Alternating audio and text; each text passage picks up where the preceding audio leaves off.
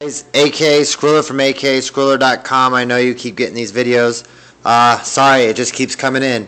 Um, what we have now is, all right, you already have Netflix on your phone. All right, I already got this all set up. Um, this is a cool feature too. I don't know if you guys know you can do that. Um, but here's the best part, you guys. We know we're not Lagfist, but we're still getting 2,000.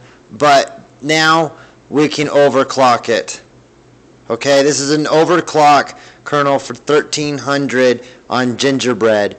Um, it's just a nice kernel. Uh, it, you can find it again. I'll direct you in the website. It's uh,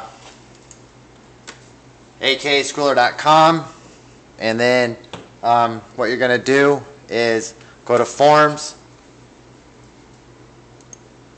And from forms, you're going to go to uh, Skriller Room of Hacks. And what I'm going to do is I haven't posted this yet. So inside this room, look for gingerbread overclocking 1.3. Okay, that's what I'm going to name it. And, and that's what you guys can get it. So you can get your gingerbread that is right here.